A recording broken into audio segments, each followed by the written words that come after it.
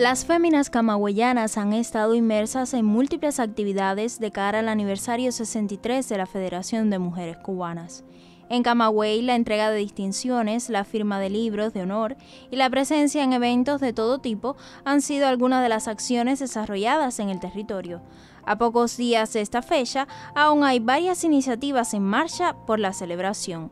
Hemos desarrollado un grupo de actividades en, vísperas de celebrar nuestro 63 aniversario. En la próxima semana creo que va a ser ya eh, la jornada más intensa que tenemos.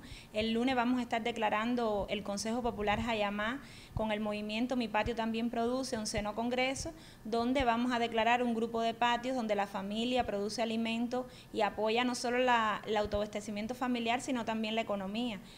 El día 22 vamos a, celebrar nuestro acto provincial por el 63 aniversario que tendrá como sede el municipio de Najasa, municipio ganador de la condición de vanguardia a nivel provincial y también a nivel nacional, fue de los municipios destacados en la emulación por el 23 de agosto. Y allí estaremos celebrando con todas las federadas de Najasa. Y una representación de los 13 municipios de la provincia. El 23 de agosto, ya el día de nuestro aniversario, estaremos en la mañana compartiendo eh, en el Café La Comarca con un grupo de de, escritoras y de poetisas camagüeyanas, eh, donde se va a hacer un homenaje a la mujer, no solo a la mujer camagüeyana, sino también a la mujer cubana desde las letras. Yo creo que también es un regalo que nos está haciendo hoy el Centro Provincial del Libro a la Federación de Mujeres Cubanas.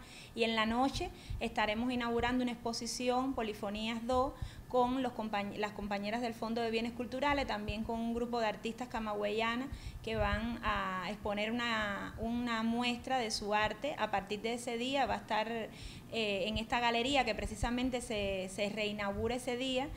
Con el ímpetu que define a las cubanas, las agramontinas recibirán ese nuevo aniversario de la organización que las aglutina a todas, en un año donde más féminas se han incorporado al trabajo gracias al quehacer de la federación.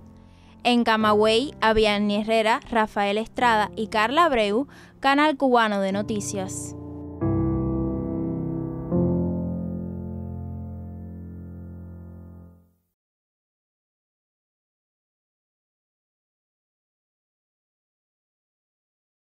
Aviani Herrera, Rafael Estrada y Carla Abreu, Televisión Camagüey.